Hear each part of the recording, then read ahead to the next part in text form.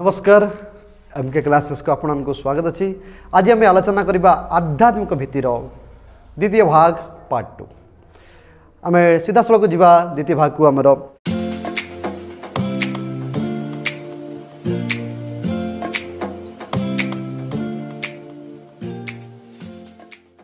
ଆଧ୍ୟାତ୍ମିକ ଶବ୍ଦଟିକୁ ଏହି ଶେଷାକ୍ତ ଅର୍ଥରେ ବ୍ୟବହାର କରି ଏହି ଦୃଷ୍ଟିରୁ ଆଧ୍ୟାତ୍ମିକ ଭିତ୍ତିର ଅର୍ଥ କରିବାକୁ ଯାଉଛି। ପ୍ରାବନ୍ଧିକ। ରତ୍ନାକର ପ୍ରତି ଏଠାରେ ମୁଁ ବୋଲି କହିଛନ୍ତି। ମୁଁ ଅର୍ଥାତ୍ ପ୍ରାବନ୍ଧିକକୁ ବୁଝୁଛୁ ଆମେ। ପ୍ରାବନ୍ଧିକ କହୁଛନ୍ତି କ'ଣ? ଆଧ୍ୟାତ୍ମିକ ଏହି ଶବ୍ଦଟିକୁ ସେ ଶେଷାକ୍ତରେ ଶେଷାକ୍ତରେ ଅର୍ଥାତ୍ ଶେଷରେ କଥିତ। ଯାହା ଶେଷରେ କଥିତ ହୋଇଥାଏ ତାକୁ ଶେଷାକ୍ତ ବୋଲି କୁହାଯାଏ। ସେ କହୁଛନ୍ତି ଶେଷାକ୍ତ ଅର୍ଥରେ ବ୍ୟବହାର କରି ଏହି ଦୃଷ୍ଟିରୁ ମୁଁ ଆଧ୍ୟାତ୍ମିକ ଭିତ୍ତିର ଅର୍ଥ କହିବାକୁ ଯାଉଛି। ତାହେଲେ ସେ କହୁଛନ୍ତି ଏହି ଦୃଷ୍ଟିରୁ ଯେଉଁ ଗୀତାର ସମ୍ବନ୍ଧୀୟ ବିଭୂତି ଯୁଗରେ ଯେଉଁ ବର୍ଣ୍ଣନା କରାଯାଇଥିଲା আধ্যাত্মিক হচ্ছে কোণ সবু বিদ্যা মান ভিতর সর্বশ্রেষ্ঠ বিদ্যা হচ্ছে আধ্যাত্মিক বিদ্যা এবং ভগবান নিজে কে ভগবান শ্রীকৃষ্ণ কে যে সে হি হচ্ছেন আধ্যাত্মিক বিদ্যা স্বরূপ তেমন এই কথা সেটি দর্শাই দিয়েছেন সূচাই দিয়েছেন এবং সে কৌন শেষে মু এই কথা কহা যাচ্ছি শেষক্তরে অর্থাৎ শেষে যা কথিত হয়েছি তাকে ব্যবহার করছেন কোণ আধ্যাত্মিক ভিত্তি ভিত্তি কে তো আমি পূর্ব জাঁছু ভিত্তি কে মূলদুয়া বা নিয় বা যেটা আধার বলে আমি কহিথাও বেশ যেটা ତାହେଲେ ଆଧ୍ୟାତ୍ମିକର ଆଧ୍ୟାତ୍ମିକ ଭିତ୍ତିର ସେ ଅର୍ଥ କରିବାକୁ ଯାଇଛନ୍ତି ସେ କହୁଛନ୍ତି ଆଧ୍ୟାତ୍ମିକ ଭିତ୍ତି କହିଲେ ବୁଝିବାକୁ ହେବ? ପରାତ୍ପର ଆତ୍ମଶକ୍ତି ବା ଐଶୀ ଶକ୍ତିର ଅସ୍ତିତ୍ୱରେ ବିଶ୍ୱାସ। ତାହେଲେ ଆଧ୍ୟାତ୍ମିକ ଭିତ୍ତି କହିଲେ କ'ଣ ବୁଝିବାକୁ ହେବ ସେ କହୁଛନ୍ତି ନା ପରାତ୍ପର। ପରାତ୍ପର କହିଲେ ଆମେ ଜାଣିଛୁ କ'ଣ? ନା ସର୍ବୋତ୍ତମ ଯାହା ସର୍ବୋତ୍ତମ ହୋଇଥାଏ ଯାହା ସର୍ବକୃଷ୍ଟ ହୋଇଥାଏ ଯେଉଁ ପରମାତ୍ମାକୁ ବୁଝାଯାଇଥାଏ। ପରାତ୍ପର କହିଲେ ଆମେ ବୁଝୁଛୁ ସର୍ବୋତ୍ତମ ବା ପରମାତ୍ମା ଯାହେଲେ ଏଇଠୁ ବୁଝୁଛୁ ପିଲାମାନେ ଆମେ କ'ଣ ବୁଝୁଛୁ ଯେ ପରାତ୍ପର ଆତ୍ମଶକ୍ତି ଏଇ ଯେଉଁ ଆତ୍ମଶକ୍ତି ରହିଛି ନିଜସ୍ୱ ଯେଉଁ ଶକ୍ତି ରହିଛି ବା ଐଶୀ ଶକ୍ତି ଈଶ୍ୱରଙ୍କର ଯେଉଁ ଆତ୍ମଶକ୍ତି ଅଛି ପରାତ୍ପର ଏଇ ସର୍ବୋତ୍ତମ ପୁରୁଷ ଯିଏ ରହିଛନ୍ତି ତାଙ୍କର ଯେଉଁ ଆତ୍ମଶକ୍ତି ଅଛି ଯେଉଁ ନିଜସ୍ୱ ଶକ୍ତି ଅଛି ବା ଐଶୀ ଶକ୍ତି ଐଶୀ କହିଲେ କ'ଣ ଈଶ୍ୱରଙ୍କର ଶକ୍ତି ଐଶୀ ଶକ୍ତି ଈଶ୍ୱରଙ୍କର ଶକ୍ତି ଉପରେ ତାହା ଯାହା ଉପରେ ଅସ୍ତିତ୍ୱ ଅସ୍ତିତ୍ୱ ଶବ୍ଦର ଅର୍ଥ ଆମେ ବୁଝିବା ପିଲାମାନେ ଯେଉଁଟା ଘଟବାନ ଯେଉଁଟା ଅଛି ଯେଉଁଟା ଅଛି ଯାହା ଅବସ୍ଥିତ ରହିଛି ଯେଉଁ ଘଟବାନ ଅଛି ଅସ୍ତିତ୍ୱ କହିଲେ ଆମେ ବୁଝୁଛୁ ପିଲାମାନେ ଘଟବାନ ତାହେଲେ ଦେଖ ପିଲାମାନେ ଆଧ୍ୟାତ୍ମିକ ଏଇ ଯେଉଁ ଭିତ୍ତି କହିଲେ ସେ କହୁଛନ୍ତି କ'ଣ ନା ପରାତ୍ପର କହିଲେ ପରମାତ୍ମା ବା ସର୍ବୋତ୍ତମ ଯେଉଁ ଆତ୍ମଶକ୍ତି ବା ଐଶୀ ଶକ୍ତି ଉପରେ ଯେଉଁ ଆମର ଦୃଢ଼ ବିଶ୍ୱାସ ରହିଛି ଯେ ଈଶ୍ୱର ଅଛନ୍ତି ବା ଆତ୍ମା ଯେଉଁଠି ଲୀନ ହୋଇଯାଉଛି ସେଇ ପରମାତ୍ମା। ପରମାତ୍ମାଙ୍କର ଯେଉଁ ସତ୍ୟ ସ୍ୱରୂପ ରହିଛି ବେଦାନ୍ତ ମତରେ ଆମେ କହିବା ଯେଉଁ ସତ୍ ସ୍ୱରୂପ ରହିଛି ଅସ୍ତିତ୍ୱ ରହିଛି ଆମର ଈଶ୍ୱରଙ୍କ ପ୍ରତି ଯେଉଁ ବିଶ୍ୱାସ ରହିଛି ଈଶ୍ୱରଙ୍କର ଶକ୍ତି ଏହି ଚରାଚର ବିଶ୍ୱରେ ଏ ନିଖିଳ ବିଶ୍ୱରେ ଏହି ଚତୁଃପାର୍ଶ୍ୱରେ ଯାହା ବି କିଛି ଘଟୁଛି ଯାହା ସବୁ ଘଟଣାବଳୀ ଘଟୁଛି ତାହାର ମୂଳକର୍ତ୍ତା ଈଶ୍ୱର ଅଟନ୍ତି ଏହି ଯେଉଁ ବିଶ୍ୱାସ ଏଇ ଯେଉଁ ଈଶ୍ୱରଙ୍କର ଅସ୍ତିତ୍ୱର ଉପରେ ଆମର ବିଶ୍ୱାସ ଈଶ୍ୱରଙ୍କର ଯେଉଁ ଶକ୍ତି ଉପରେ ଯେଉଁ ବିଶ୍ୱାସ ତାହାକୁ ହିଁ ସେ କହୁଛନ୍ତି ଯେ ଆଧ୍ୟାତ୍ମିକ ଭିତ୍ତି କହିଲେ ଆମେ ତାକୁ ହିଁ ବୁଝିବା ଯେ ପରାତ୍ପର ଯେଉଁ ଗୋଟେ ଶକ୍ତି ରହିଛି ଯାହାଙ୍କର ଆତ୍ମଶକ୍ତି ବା ଅହିଶକ୍ତି ଉପରେ ଯାହା ଯାହାଙ୍କର ଅସ୍ତିତ୍ୱ ରହିଛି ତା ଉପରେ ହିଁ ବିଶ୍ୱାସ। ଏହି ବିଶ୍ୱାସ ବଳରେ ଉପନିଷଦ କୁହେ ଜଗତରେ ଚରାଚର ଯାହା କିଛି ବିଦ୍ୟମାନ ଅଛି ସେ ସମସ୍ତରେ ହିଁ ପର ପରାତ୍ପର ପରମେଶ୍ୱରଙ୍କର କର୍ତ୍ତୃତ୍ୱ ପରିବ୍ୟାପ୍ତ ରହିଛି। ତାହେଲେ ସେ କହୁଛନ୍ତି ପିଲାମାନେ ଏଠି ବୁଝିବା ଏଇ ବିଶ୍ୱାସ ବଳରେ ଉପନିଷଦ ଆମକୁ କ'ଣ କହିଲା? ଆମେ ଜାଣିଛୁ ଉପନିଷଦ କଥା ପିଲାମାନେ। ଆମେ ଜାଣିଛୁ ବର୍ତ୍ତମାନ ସମୟରେ ଆମେ ଦଶ ଦଶଟି ଉପନିଷଦ କଥା ଆମେ ଆଲୋଚନା କରୁଛୁ। ପୂର୍ବ ଭାଗରେ ଉପନିଷଦ କଥା ବହୁତ ସୁନ୍ଦର ଭାବରେ ବର୍ଣ୍ଣନା କରାଯାଇଛି ପିଲାମାନେ। ଆମେ ଜାଣିଛୁ ଉପନିଷଦ ଆମର ଦଶ ଦଶଟା ଅଛି ନା? ଈଶ କେନ କଠୋ ପ୍ରଶ୍ନ ମୁଣ୍ଡ ମଣ୍ଡୁକ ତୈତରୀ। ଐତେରୀୟ ଛନ୍ଦାଙ୍ଗ ବୃହତ୍ ଆରଣ୍ୟକ ଏହି ଯେଉଁ ଆମର ଦଶ ଦଶଟି ଉପନିଷଦ ସେଇ ଉପନିଷଦ ସବୁବେଳେ କହୁଛି ପିଲାମାନେ ଯେ ଉପନିଷଦ କ'ଣ କହୁଛି?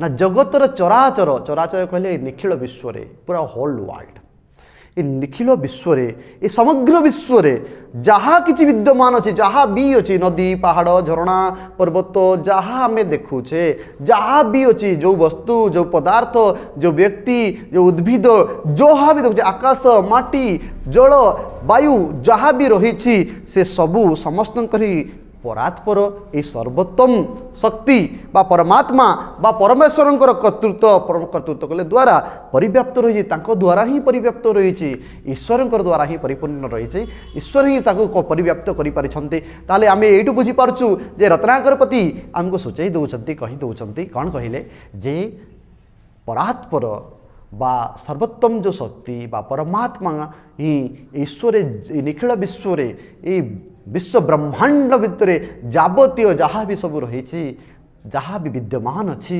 ତାହା ସବୁ ଈଶ୍ୱରଙ୍କର ଦ୍ୱାରା ବା ପରା- ପରମାତ୍ମାଙ୍କ ଦ୍ୱାରା ପରିବ୍ୟାପ୍ତ ଅଟେ ଏହା ଆମକୁ ସେ ଦର୍ଶାଇ ଦେଇଛନ୍ତି ଏବଂ ସେ କହୁଛନ୍ତି ପିଲାମାନେ କ'ଣ କହୁଛନ୍ତି ଦେଖ ଯେ ଉପନିଷଦ ଆଉ କ'ଣ କହୁଛି ପିଲାମାନେ ସେ କହୁଛନ୍ତି ଯେ ଉପନିଷଦ ଆମେ ଜାଣିଛୁ ଈଶ ଉପନିଷଦରେ ଗୋଟେ କଥା ଅଛି ଈଶାବାସଂ ଇଦಂ ସର୍ବମ୍ ୟକ୍ତିଞ୍ଚ ଜଗତାଂ ଜଗତ ଅର୍ଥାତ୍ ଇସ୍ ଜଗତରେ ଈଶ୍ୱର ସର୍ବତ୍ର ବିଦ୍ୟମାନ ସବୁଠାରେ ଅଛନ୍ତି ଏଠି ଅଛନ୍ତି ସେଠି ଅଛନ୍ତି ସବୁଠାରେ ଈଶ୍ୱର ବିଦ୍ୟମାନ। ଏହି ଯେଉଁ ବିଶ୍ୱାସ ରହିଛି ସୁତରାଂ ଆଧ୍ୟାତ୍ମିକ ଭିତ୍ତି କହିବାକୁ ହେଲେ ବା ବୁଝିବାକୁ ହେବ ବିଶ୍ୱବ୍ରହ୍ମାଣ୍ଡ ତତ୍ରସ୍ଥ ଯାବତୀୟ ବସ୍ତୁ ଓ ପ୍ରକ୍ରିୟା ମୂଳରେ ଏହି ସର୍ବବ୍ୟାପୀ ଐଶୀ ଶକ୍ତିର ସତ୍ତା ଅକାର୍ଯ୍ୟକାରିତା ରହିଅଛି। ଏହି ବିଶ୍ୱାସ। ତାହେଲେ ମଣିଷମାନଙ୍କର ବିଶ୍ୱାସ ରହିଲା କ'ଣ? ଯେ ଆଧ୍ୟାତ୍ମିକ ଭିତ୍ତି କହିଲେ କ'ଣ ବୁଝିବାକୁ ହେବ? ନା ଏ ବିଶ୍ୱ ବ୍ରହ୍ମାଣ୍ଡ ଏଇ ପୁରା ସମଗ୍ର ବିଶ୍ୱରେ ଏଇ ଚରାଚର ବିଶ୍ୱରେ ନିଖିଳ ବିଶ୍ୱରେ ତତ୍ରସ୍ଥ କହିଲେ ସେଠାରେ ଯାବତୀୟ ଯାହା ବି କିଛି ବସ୍ତୁ ଯେଉଁ କିଛି ବସ୍ତୁ ରହିଛି ବା ଯେଉଁ ପ୍ରକ୍ରିୟା ରହିଛି ଯେଉଁ ପ୍ରକ୍ରିୟାରେ କିଛି ହେଉଛି ଗଛରୁ ଫୁଲ ଫୁଲରୁ ଫଳ ଗୋଟେ ପ୍ରକ୍ରିୟା ଯେଉଁ ବି ପ୍ରକ୍- ପ୍ରକ୍ରିୟା ରହିଛି ସୃଷ୍ଟିର ଯେଉଁ ପ୍ରକ୍ରିୟା ରହିଛି ଯେ ପ୍ରକ୍ରିୟା ଯାହା ବି କିଛି ପ୍ରକ୍ରିୟା ରହିଛି ତାହାର ମୂଳରେ ଗୋଟେ ସର୍ବବ୍ୟାପୀ ଐଶୀ ଶକ୍ତି ଐଶୀ ଶକ୍ତି କହିଲେ ଈଶ୍ୱରଙ୍କର ଶକ୍ତିର ଗୋଟେ ସତ୍ତା ଆମେ ଦେଖିବାକୁ ପାଉଛୁ ଏବଂ ତାର କାର୍ଯ୍ୟକାରିତା ରହିଛି ଏଇଟା ଲୋକମାନଙ୍କର ବିଶ୍ୱାସ। ତାହେଲେ ଆଧ୍ୟାତ୍ମିକ ଭିତ୍ତି ଆମେ କହିଲେ କ'ଣ ବୁଝୁଛୁ? ବର୍ତ୍ତମାନ ବୁଝେଇ ଦେଲେ ଆମକୁ ରତ୍ନାକର ପ୍ରତି କହୁଛନ୍ତି କ'ଣ କହିଲେ ଯେ ସର୍ବବ୍ୟାପ ଗୋଟେ ଶକ୍ତି ରହିଛି ସର୍ବବ୍ୟାପୀ ଗୋଟେ ଶକ୍ତି ରହିଛି ସେଇ ଯେଉଁ ଶକ୍ତି ଉପରେ ଯେଉଁ ଆମର ବିଶ୍ୱାସ ରହିଛି ଯେ ଯାହା ବି କିଛି ଘଟୁଛି ଯାହା ବି କିଛି ଅଛି କୌଣସି ପ୍ରକ୍ରିୟା ହେଉ କୌଣସି ବସ୍ତୁ ହେଉ ତାର ମୂଳରେ ଗୋଟେ ଈଶ୍ୱରଙ୍କର ଶକ୍ତି ବା ଈଶ୍ୱରଙ୍କର ହାତ ଅଛି। ଈଶ୍ୱରଙ୍କର ଗୋଟେ ହାତ ରହିଛି ଯେଉଁ ହାତ ସବୁ କିଛି କରୁଛି। କରି କରଉଥାଏ ମୁହିଁ ବିନୁ ଅନ୍ୟ ଗତି ନାହିଁ। ଈଶ୍ୱର ସବୁ କିଛି କରୁଥାନ୍ତି କରଉଥାନ୍ତି। ପୁରାଣ ପ୍ରସିଦ୍ଧ ଭାରତ ଭୂମି ବିଶେଷତଃ ଆର୍ଯ୍ୟମାନଙ୍କର ଅଧିଷ୍ଠାନ ସ୍ଥଳୀ ହେବା ଦିନଠାରୁ ମାନବ ଜୀବନ ତଥା ବିଶ୍ୱର ସମସ୍ୟାମାନଙ୍କର ସମାଧାନର ପ୍ରଯତ୍ନ କରି ଆସିଅଛି। ତାହେଲେ ଆମେ ଜାଣିଛୁ ପୁରାଣ ପ୍ରସିଦ୍ଧ ଭାରତ ଭୂମି ଭାରତ ଗୋଟେ ଏ ପ୍ରକାର ଭୂମି ତାକୁ ଭାରତକୁ ଆର୍ଯ୍ୟଭୂମି ବୋଲି କୁହାଯାଏ। ବା ଏହା ପୁରାଣରେ ଏହାକୁ ବର୍ଣ୍ଣନା ବହୁତ ବହୁଳ ଭାବରେ ଅଛି। ଆମେ ଜାଣିଛୁ ଅଠରଟି ଯେଉଁ ପୁରାଣ ଅଛି ଆମର ପୁରାଣର ଯେଉଁ ପୁରାଣକାର ରହିଛନ୍ତି ଏହାକୁ ଭାରତ ଭୂମିକୁ ସର୍ବଶ୍ରେଷ୍ଠ ଭୂମି ବୋଲି କହିଛନ୍ତି। କାହିଁକିନା ଏଠି ରାମଙ୍କର ଜନ୍ମ ହୋଇଛି ଏଠି କୃଷ୍ଣଙ୍କର ଜନ୍ମ କଥା ଭାରତରେ ହିଁ ଅଛି। ତେଣୁ ଭାରତରେ ରାମ ଭଳିଆ କୃଷ୍ଣ ଭଳିଆ ବା ବିଷ୍ଣୁଙ୍କର ଦଶ ଦଶଟି ଅବତାରଙ୍କର ଜନ୍ମ ଭାରତରେ ରହିଛି। ତେଣୁ ଇଏ ପୁରାଣ ପ୍ରସିଦ୍ଧ ଏହି ଭାରତ ଭୂମି ଯେବେଠାରୁ ଆର୍ଯ୍ୟମାନେ ଏଠି ରହିବା ପାଇଁ ଆରମ୍ଭ କରିଛନ୍ତି। ସେମାନେ କ'ଣ କରିଛନ୍ତି? ନା ଆର୍ଯ୍ୟମାନଙ୍କର ଅଧିଷ୍ଠାନ ସ୍ଥଳୀ ଅର୍ଥାତ୍ ଯେଉଁ ଭିତରୁ ଅଧିଷ୍ଠାନ ସ୍ଥଳୀ କହିଲେ ଆଶ୍ରୟ। ଯେତେବେଳେ ଆର୍ଯ୍ୟ ଆର୍ଯ୍ୟମାନେ ଆର୍ଯ୍ୟ ଋଷିମାନେ ଆର୍ଯ୍ୟମାନେ ଯେତେବେଳେ ଏଇଠି ରହିବା ପାଇଁ ବାଛି ନେଇଛନ୍ତି ଜାଗାକୁ ଏଇ ସ୍ଥାନକୁ ସେଇ ଦିନଠାରୁ ସେମାନେ ମଣିଷ କ'ଣ କରିଛି? ମାନବ ଜୀବନର ଯାହା ବି କିଛି ସମସ୍ୟା ରହିଛି ବିଶ୍ୱର ଯେଉଁ ସମସ୍ୟା ରହିଛି ମଣିଷ ଜୀବନର ସମସ୍ୟା ହେଉ ବ୍ୟକ୍ତିଗତ ଜୀବନ ହେଉ ପାରିବାରିକ ଜୀବନ ହେଉ ସାମାଜିକ ଜୀବନ ହେଉ ରାଜନୈତିକ କ୍ଷେତ୍ରରେ ହେଉ ଯେଉଁ ବି କିଛି ସମସ୍ୟା ରହିଛି ତାର ସମାଧାନ ପାଇଁ ସେମାନେ ସଦା ସର୍ବଦା ଏ ଆର୍ଯ୍ୟମାନେ କ'ଣ କରୁଥିଲେ? ଯତ୍ନବାନ ଥିଲେ ସେମାନେ ସବୁବେଳେ ଯତ୍ନବାନ ଥିଲେ ଏବଂ କରୁଥିଲେ କ'ଣ କରୁଥିଲେ ପିଲାମାନେ? ଯେ ସମସ୍ୟାର ସମାଧାନ ସମସ୍ୟାର ଶେଷ ପର୍ଯ୍ୟନ୍ତ ଅନ୍ତକୁ ଯାଇ ସେମାନେ କ'ଣ କରୁଥିଲେ? ସମାଧାନ ଖୋଜି ବାହାର କରୁଥିଲେ। ଶେଷ ପର୍ଯ୍ୟନ୍ତ ଲାଷ୍ଟ ପର୍ଯ୍ୟନ୍ତ ଯାଇ ସେମାନେ ସମସ୍ୟାର ସମାଧାନ କରୁଥିଲେ। ତେଣୁ ପ୍ରତ୍ୟେକ ସମସ୍ୟାର ସମାଧାନ ଥାଏ। ଏବଂ ଏହା ଆର୍ଯ୍ୟମାନେ ଆମକୁ ଶିଖାଇ ଆସିଛନ୍ତି କେବେଠାରୁ ଯେବେଠାରୁ ସେମାନେ ଏହି ଭାରତ ଭୂମିକୁ ନିଜର ଆଶ୍ରୟସ୍ଥଳୀ ଭାବରେ ନେଇଛନ୍ତି ନିଜର ଅଧିଷ୍ଠାନ ସ୍ଥଳୀ ଭାବରେ ରହିଛନ୍ତି ନିଜର ଘର କରି ରହିଛନ୍ତି ଯେବେଠାରୁ ଏମାନେ ଏଠି ବାସ କଲେ ଆର୍ଯ୍ୟମାନେ ଆମେ ବିଶ୍ୱାସ କରୁ ଯେ ପ୍ରାଚୀନ ଭାରତରେ ଆର୍ଯ୍ୟମାନଙ୍କର ବାସସ୍ଥଳୀ ଥିଲା ଏଇଠି ଆର୍ଯ୍ୟମାନେ ରହୁଥିଲେ ଆର୍ଯ୍ୟମାନଙ୍କର ଏଇଠି ଘର ଥିଲା ତେଣୁ ଏଇ ଆର୍ଯ୍ୟମାନେ ରହିଲା ଦିନଠାରୁ ସେମାନେ କ'ଣ କରିଛନ୍ତି? ମଣିଷ ଜୀବନର ବ୍ୟକ୍ତିଗତ ଜୀବନ ହେଉ ପାରିବାରିକ ଜୀବନ ହେଉ ସାମାଜିକ ଜୀବନ ହେଉ ସବୁ କ୍ଷେତ୍ରରେ ଯେଉଁ ସମସ୍ୟା ରହିଛି ସେହି ସମସ୍ୟାର ଅନ୍ତ କରିବା ପାଇଁ ସେମାନେ ସମାଧାନ ଖୋଜି ବାହାର କରିଛନ୍ତି। ସମାଧାନ କେମିତି ବାହାରିବ ତାକୁ ସେମାନେ ଚିନ୍ତା କରନ୍ତି ସବୁବେଳେ ଆର୍ଯ୍ୟମାନେ। ତେଣୁ ଆର୍ଯ୍ୟମାନଙ୍କୁ ଶ୍ରେଷ୍ଠ ମଧ୍ୟ ବୋଲି କୁହାଯାଇଥାଏ। ସୁପରିୟର ଆରିୟନ୍ ଥିଓରି ମଧ୍ୟ କୁହାଯାଇଥାଏ। ଆର୍ଯ୍ୟ ଋଷିବୃନ୍ଦମାନେ ଯେତେବେଳେ ପୂର୍ଣ୍ଣତୟା ସରସ୍ୱତୀ କୂଳରେ ପ୍ରକୃତିର ବିରାଟତା ଓ ଅନିବର୍ଚ୍ଚନୀୟ ସୌନ୍ଦର୍ଯ୍ୟ ସଦର୍ଶନ କଲେ ସେତେବେଳେ ସେମାନଙ୍କର କଣ୍ଠରୁ ଯେଉଁ ଦିବ୍ୟ ଗୀତ ଗୁଡ଼ିକ ବାହାରି ପଡ଼ିଲା ସେଗୁଡ଼ିକ ବେଦ ରୂପରେ ଭାରତର ପ୍ରାଣକୁ ନାନା ଭାବରେ ପ୍ରଭାବିତ କରି ଆସିଛି। ତାହେଲେ ଆର୍ଯ୍ୟ ଋଷିମାନେ ପୁଣ୍ୟତୟା ପୁଣ୍ୟତୟା କହିଲେ ପୁଣ୍ୟତୟା କହିଲେ ପୁଣ୍ୟ ଜଳ ତୟା ଅର୍ଥ ହେଉଛି ଜଳ ତୟ ଅର୍ଥ ଜଳ ଆମେ ଜାଣିଛୁ ତାହେଲେ ପୂର୍ଣ୍ଣ ବା ପବିତ୍ର ପବିତ୍ର ଜଳ ପବିତ୍ର ଜଳ ସରସ୍ୱତୀ ଏକ ପବିତ୍ର ନଦୀ ଜାଣିଛୁ ଆମେ ଆମେ ଜାଣିଛୁ ଗଙ୍ଗା ଯମୁନା ସରସ୍ୱତୀ ନର୍ମଦା ସିନ୍ଧୁ କାବେରୀ ଏସବୁ ଯେଉଁ ନଦୀ ଗୁଡ଼ାର ଜଳକୁ ପବିତ୍ର ବୋଲି ମାନାଯାଏ। ହିନ୍ଦୁ ଶାସ୍ତ୍ର ତାକୁ ପବିତ୍ର ନଦୀର ଆଖ୍ୟା ଦେଇଛି। କାହିଁକିନା ନଦୀ ସବୁବେଳେ ନଦୀ ଜଳ ସବୁବେଳେ ପବିତ୍ର ଥାଏ। କାହିଁକି ନଦୀ ଜଳ ସବୁବେଳେ ପ୍ରବାହିତ। ନଦୀ ଧାରା ସବୁବେଳେ ପ୍ରବାହିତ ଧାରା। ସବୁବେଳେ ବହୁଥାଏ। ବୋହି ବହିବା ପାଣି ଶୁଦ୍ଧ ହୋଇଥାଏ। ତେଣୁ ପବିତ୍ର ଜଳ ପୁଣ୍ୟତୟା ପବିତ୍ର ଜଳ ଧାରଣ କରିଥିବା ଏଇ ସରସ୍ୱତୀ ନଦୀ କୂଳରେ ପ୍ରକୃତିର ଯେଉଁ ବିରାଟତା ଯେଉଁ ବିଶାଳ ସୌନ୍ଦର୍ଯ୍ୟ ଅନିବର୍ଚ୍ଚନୀୟ ଅର୍ଥାତ୍ ଯାହାକୁ ବର୍ଣ୍ଣନା କରାଯାଇ ନପାରେ ଯାହାକୁ ଭାଷାରେ ବ୍ୟକ୍ତ କରାଯାଇ ନପାରେ ସେହି ପ୍ରକାର ଯେଉଁ ସୁନ୍ଦରତାକୁ ପ୍ରକୃତିର ଯେଉଁ ଗଛ ଲତା ପାଣି ପବନ ଯେଉଁ ସୁନ୍ଦରତାକୁ ସେ ଯାହାକୁ ବର୍ଣ୍ଣନା ମଧ୍ୟ କରାଯାଇ ନପାରେ ଯାହାକୁ ଭାଷାରେ ଉପସ୍ଥାପନ କରି ହେବ ନାହିଁ ଯାହାକୁ ଭାଷାରେ କହି ହେବ ନାହିଁ ସେହି ପ୍ରକାର ସୌନ୍ଦର୍ଯ୍ୟକୁ ଯେତେବେଳେ ସେ ସଦର୍ଶନ କରିଛନ୍ତି ଆର୍ଯ୍ୟମାନେ ସେତେବେଳେ ସେମାନଙ୍କ କଣ୍ଠରୁ ଯେଉଁ ଦିବ୍ୟ ଗୀତ ଗୁଡ଼ିକ ବାହାରିଲା ତାକୁ ହିଁ ବେଦ ବୋଲି ମାନାଗଲା। ତାହେଲେ ଆମେ ଜାଣିଛୁ ବେଦର ସୃଷ୍ଟି ଆର୍ଯ୍ୟମାନେ ଆମେ ଜାଣିଛୁ ବେଦ ଋଗ୍ବୈଦିକ ଯୁଗ ଥିଲା ଯାହାକୁ ଆମେ ପ୍ରାକ୍ ବୈଦିକ ଯୁଗ ବୋଲି କହୁଥିଲେ ତ ପରବର୍ତ୍ତୀ ଋଗ୍ବୈଦିକ ଯୁଗରେ ଗୋଟିଏ ମାତ୍ର ଯୁଗ ବେଦ ରଚନା ହେଇଛି ପିଲାମାନେ ସେ କ'ଣ ସେ ବେଦ ଥିଲା? ଋଗ୍ବେଦ ପରବର୍ତ୍ତୀ ବୈଦିକ ଯୁଗରେ ତିନି ତିନୋଟି ବେଦ ରଚନା ହେଇଛି ଯଜୁର୍ବେଦ ସାମବେଦ ଅଥର୍ବେଦ ଏସବୁ ବେଦର ରଚନା ହେଇଛି। ତେଣୁ ଏହି ଯେଉଁ ବେଦର ଯେଉଁ ସୃଷ୍ଟି ହେଲା କେଉଁଠୁ ସୃଷ୍ଟି ହେଲା? କୁହାଯାଉଛି କ'ଣ ନା ଆର୍ଯ୍ୟ ଋଷିମାନେ ପ୍ରକୃତିର ଯେଉଁ ସୌନ୍ଦର୍ଯ୍ୟକୁ ସନ୍ଦର୍ଶନ କଲେ ସେଇଠୁ ଯାହା ବାହାରିଲା ତାଙ୍କ କଣ୍ଠରୁ ଯେଉଁ ବାହାରିଲା ଏଇ ଯେଉଁ ନଦୀକୁ ଦେଖି ଏଇ ଯେଉଁ ପବିତ୍ର ନଦୀ କୂଳରେ ଥିବା ଯେଉଁ ବାତାବରଣ ନିର୍ମଳ ପରିବେଶ ସ୍ୱଚ୍ଛ ମନରୁ ଯେଉଁ ଗୀତ ଗୁଡ଼ିକୁ ବାହାରିଗଲା ଗୀତ ସମୂହ ବାହାରିଛି ସେଇ ଗୀତ ଗୁଡ଼ିକୁ ଆଜି ବେଦ ରୂପରେ ଆମେ ମାନୁଛୁ। ବେଦ କହିଲେ ଆମେ ଯେଉଁ ବିଦ ଧାତୁରୁ ସୃଷ୍ଟି ପିଲାମାନେ ବେଦ ଅର୍ଥ ଆମେ ଜ୍ଞାନକୁ ବୁଝିଥାଉ ନା ତାହେଲେ ଜ୍ଞାନର ସନ୍ଦର୍ଶନ ହୋଇଯାଇଛି ଏଠି ତାହେଲେ ଜ୍ଞାନ ସୃଷ୍ଟି ହେଇଛି ତାହେଲେ ପ୍ରକୃତି ହିଁ ଜ୍ଞାନ ଦେଇପାରେ ଯେଉଁଟାକି ଭାରତ ଭୂମି ଦେଇପାରିଛି କାହିଁକିନା ଭାରତ ୱାର୍ଲଡକୁ ଜିରୋ ମଧ୍ୟ ଦେଇଛି ଜିରୋ ସୃଷ୍ଟି କରୁଥିବା ଆର୍ଯ୍ୟଭଟ୍ଟ ଆମେ ଜାଣିଛୁ ପିଲାମାନେ ଜିରୋ ଦେଇଛନ୍ତି ଭାରତ ଭୂମି ଏକ ଏ ପ୍ରକାର ଭୂମି ବିଶ୍ୱଗୁରୁ ଭାରତ ଏ ଭାରତ ଭୂମିରେ ବେଦର পরবর্তী সময়ে সে বেদকে সরলীকৃত করা যাই উপনিষদ আকারে সরলীকৃত করা যাই তাকে বেদাঙ্গ করাগলা, উপনিষদ করাগলা, এবং অঠর অঠরটি পুরাণ মধ্যে রচনা করা হয়েছে সরলীকৃত করা তাহলে দেখ পিলামানে সেটিকে বেদ রূপে ভারতের প্রাণকু নানা ভাবে প্রভাবিত করেছে বিভিন্ন ভাবে প্রভাবিত করেছে আজ বি আমি বেদ কহিলে আম দিব্য বেদ যেতবে ধ্বনি আমার মুখরিত হচ্ছে আমি ঘরে কোণী মাঙ্গলিক কাজ করছে ঘরে কোণী শুভ কার্যটি করছে তো বেদ ধ্বনি আমি করছে নিশ্চিত ভাবে ତାହେଲେ ବେଦର ଶ୍ରେଣୀ ବିଭାଗ କରି ବ୍ୟାସ ମହର୍ଷି ସେଥିରେ ନିହିତ ଥିବା ସୃଷ୍ଟି ପ୍ରକ୍ରିୟାର ମୂଳତତ୍ଵ ଓ ମାହାତ୍ମ୍ୟ ଏବଂ ଜୀବନ ବିଷୟକ ତଥ୍ୟମାନଙ୍କ ପୁରାଣ ଆକାରରେ ପ୍ରକାଶ କରି ଜନସାଧାରଣଙ୍କୁ ଆଧ୍ୟାତ୍ମିକ ଭାବରେ ଭାବମୟ କରିବାକୁ ଯାଇଛନ୍ତି। ତାହେଲେ ବେଦକୁ କ'ଣ କଲେ ପିଲାମାନେ? ଶ୍ରେଣୀ ବିଭାଗ କରିଦେଇଛନ୍ତି କିଏ ନା? ବ୍ୟାସଦେବ। ଆମେ ଜାଣିଛୁ ଯେ ବେଦ ସୃଷ୍ଟି ହେଲା କାହା ପାଖରୁ ନା ବ୍ରହ୍ମାଙ୍କ ପାଖରୁ। ଏବଂ ବ୍ରହ୍ମାଙ୍କ ପାଖରୁ ଯେଉଁ ବେଦ ସୃଷ୍ଟି ହେଇଥିଲା ସେ ବେଦକୁ এইটা মানা যায় যে বেদকু রচনা লেখিলে কিয়ে না ব্যাসদেব লেখিলে আর্যমানক দ্বারা সৃষ্টি বেদ ব্রহ্মাঙ্ক দ্বারা সৃষ্টি বেদ আর্যমানে কুহতি যে ব্রহ্মাঙ্ক মুখরু নিষ্কৃত হয়েছে বেদ আর্যমানে এই মত দিয়ে এবং তাহলে আমি জানুছু যে আর্যমানকর এই গীত তাহলে এই আর্যমানকর গীতকু কি লিখিলে না ব্যাসদেব রচনা করে বলে কুহযায় কিন্তু ব্রহ্মাঙ্কঠার সৃষ্টি এটা বি আমি মানিবাকু হব এবং এই ବେଦକୁ ସମସ୍ତେ ପଢ଼ି ବୁଝିବା ପାଇଁ କଷ୍ଟ ହେଉଥିଲା। କାହିଁକିନା ସଂସ୍କୃତରେ ଲେଖା ହେଇଥିଲା ସଂସ୍କୃତରେ ଲେଖା ହେଇଥିଲା ତେଣୁକରି ଟିକେ ଅଧିକ ତାକୁ ଯତ୍ନବାନ ହେଇ ଅଧିକ କଷ୍ଟ ଶବ୍ଦକୁ ନେଇ ତାକୁ ବେଦ ରଚନା ହେଇଛି ତେଣୁ ସବୁ ସାଧାରଣ ମଣିଷ ପାଇଁ ତାକୁ ବୁଝିବା ପାଇଁ ଟିକେ କଷ୍ଟ ହେଉଥିଲା। ବ୍ୟାସଦେବ କ'ଣ କଲେ? ତାକୁ ଶ୍ରେଣୀ ବିଭାଗ କରିଦେଲେ। ବେଦକୁ କିଛି ଉପନିଷଦରେ ବିଭାଗ କରିଦେଲେ। ଶହେରୁ ଅଧିକ ଉପନିଷଦରେ ହେଲା। କିନ୍ତୁ ବର୍ତ୍ତମାନ ସମୟରେ ଆମେ ତାକୁ ସଂଗୃହୀତ ମାତ୍ର ଦଶରୁ ଏଗାରଟା ଉପନିଷଦ ରଖିଛୁ। ଈଶ କେନ କଠୋ ପ୍ରଶ୍ନ ମୁଣ୍ଡ ମଣ୍ଡୁକ ତୈତରୀ ଏତେରିୟ ତୈତେରିୟ ଛନ୍ଦାଙ୍ଗ ବୃହତ ଆରଣ୍ୟକ ତଥା ଏଇ ଯେଉଁ ଦଶ ଏଗାରଟି ଆମର ମାତ୍ର ରହିଛି ଯେଉଁ ଉପନିଷଦ ସେଇ ଉପନିଷଦକୁ ନେଇକରି ଆମେ ବର୍ତ୍ତମାନ ରହିଛୁ।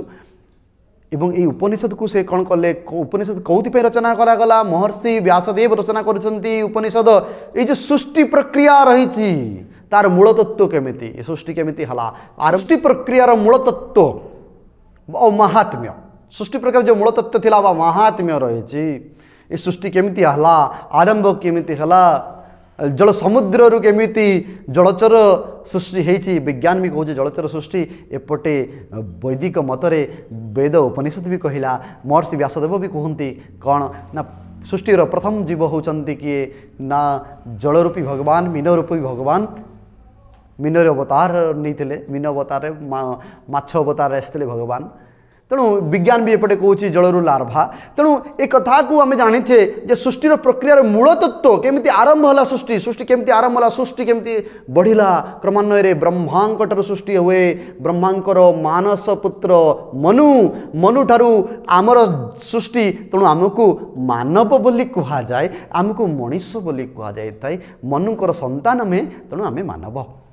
ତେଣୁ ଏଇ ଯେଉଁ ସୃଷ୍ଟି ପ୍ରକ୍ରିୟାର ମୂଳ ତତ୍ତ୍ୱ ବା ମାହାତ୍ମ୍ୟ ଯାହା ରହିଛି ଏବଂ ଜୀବନ ବିଷୟକ ତଥ୍ୟ ମଣିଷ ଜୀବନରେ ବଞ୍ଚିଲା ବେଳକୁ ଆମର ଦିନଚର୍ଯ୍ୟାରେ ଅନେକ କିଛି ବାଧା ଅଛି ବିଭିନ୍ନ ଅଛି ପାରିବାରିକ ସମସ୍ୟା ଅଛି ସାମାଜିକ ସମସ୍ୟା ଅଛି। ଏସବୁକୁ ନେଇ ଜୀବନର ନୀତି ଦୈନନ୍ଦିନ ଜୀବନର ଘଟଣାବଳୀକୁ ସରଳୀକୃତ କରିବା ପାଇଁ ପୁରାଣ ଆକାରରେ ପ୍ରକାଶ କରି ଏଇ ଯେଉଁ ଉପନିଷଦ ହେଲା ବେଦକୁ ଶ୍ରେଣୀ ବିଭାଗ ସେ କରିଦେଲେ ତେଣୁ ପୁରାଣ ଆକାରରେ ସେ କରିଦେଲେ। ଅଠର ଅଠରଟି ପୁରାଣ ବ୍ୟାସଦେବଙ୍କର ଦ୍ୱାରା ରଚିତ। ଅଠରଟି ପୁରାଣ ପିଲାମାନେ ଗୋଟି ନାହିଁ ଦୁଇଟା ନାହିଁ ହିନ୍ଦୁ ଶାସ୍ତ୍ର ବଡ଼ ଶାସ୍ତ୍ର ବୋଲି କୁହାଯାଇଥାଏ। କାହିଁକି ନା ଏଠି ଅଠର ଅଠରଟି ପୁରାଣ ଅଛି ବେଦ ଚାରିଟି ବେଦ ରହିଛି ଉପନିଷଦ ରହିଛି। ତ ପ୍ରକାଶ କରି ଜନସାଧାରଣମାନଙ୍କୁ କ'ଣଥିପାଇଁ ଏଇ ସବୁ ପୁରାଣ କରାଗଲା କେଉଁଥିପାଇଁ ଏ ବେଦ ରଚନା କରାଗଲା କେଉଁଥିପାଇଁ ଉପନିଷଦ ରଚନା କଲା କେବଳ ଲୋକମାନଙ୍କୁ ଆଧ୍ୟାତ୍ମିକ ଭାବରେ ଭାବମୟ କରିବା ପାଇଁ তাহলে আধ্যাত্মিক ভাবরে লোকমানে কেমি ভাবময় হবে ভাববিহুল হবে?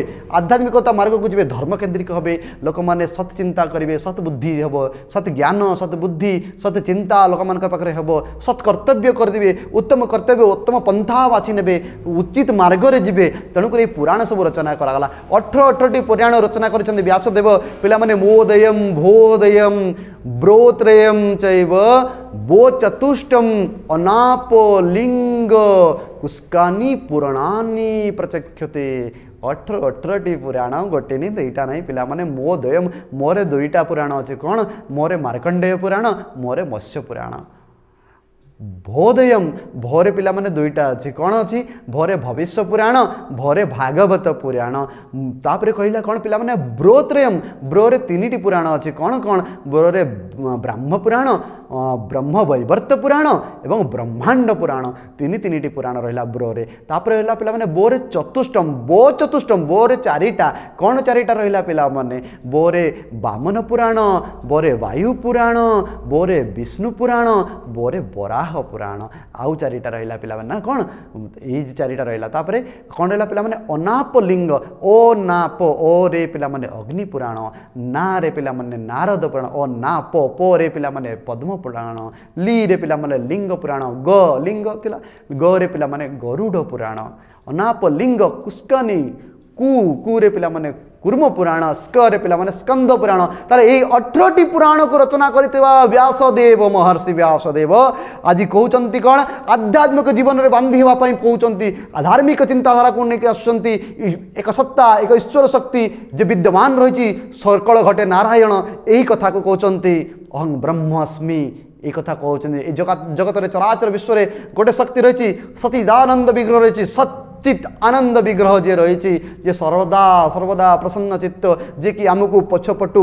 ସାହାଯ୍ୟ କରୁଛନ୍ତି ଯେତେବେଳେ ଆମେ ବିପଦରେ ପଡ଼ୁଛୁ ଯେତେବେଳେ ଆମେ କଷ୍ଟରେ ପଡ଼ୁଛୁ ସେତେବେଳେ ଆମେ ଆଧ୍ୟାତ୍ମିକ ମାର୍ଗକୁ ଚାଲି ଯାଉଛୁ ଈଶ୍ୱରଙ୍କୁ କେନ୍ଦ୍ରିତ ହେଉଛୁ ଈଶ୍ୱରଙ୍କୁ ପ୍ରାର୍ଥନା କରୁଛୁ ହେ ପ୍ରଭୁ ମୋତେ ଏଇ ବିପଦରୁ ରକ୍ଷା କରନ୍ତୁ କାହାକୁ ଆମେ ମାନୁଛେ ଆମେ ଈଶ୍ୱର ମାନେ ବା ଯିଏ ଯେଉଁ ଧର୍ମର ହଉଥାନ୍ତୁ ନା କାହିଁକି ସେ ସେଇ ଧର୍ମର ତାଙ୍କର ଦେବତାକୁ ଯେତେବେଳେ ସ୍ମରଣ କରୁଛନ୍ତି ସେ ତାଙ୍କୁ ସେଥିରୁ ତ୍ରାହି ପାଉଛନ୍ତି ରକ୍ଷା ପାଉଛନ୍ତି। ତେଣୁ ଏହି ଯେଉଁ ମଣିଷର ଯେଉଁ ବିଶ୍ୱାସ ଅଛି ଏହା ହିଁ ତ ଆଧ୍ୟାତ୍ମିକ।